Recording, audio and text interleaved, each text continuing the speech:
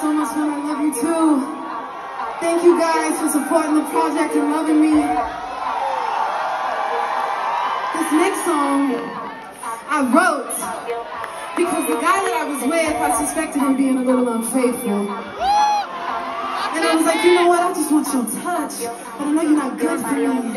So instead of trusting what you're saying, I'm gonna trust what that body do. Cause I can see what that body do. You know what I'm talking I wanna see what all y'all motherfucking body does tonight, okay? You. So tired of all of the fighting. Yeah.